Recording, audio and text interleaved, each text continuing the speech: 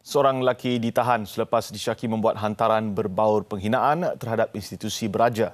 Setiausaha Polis di Raja Malaysia Datuk Nur Syah Muhammad Saaduddin berkata lelaki berusia 42 tahun itu ditahan di Pahang oleh sepasukan pegawai dan anggota Ibu Pejabat Polis daerah IPD Temeloh. Difahamkan lelaki itu dipercayai membuat hantaran menerusi akaun Facebook menggunakan akaun Raja Hairun. Permohonan reman terhadap suspek mengikut Seksyen 117 Kanun Tata Jenayah akan dibuat di lokap berpusat Kuala Lumpur.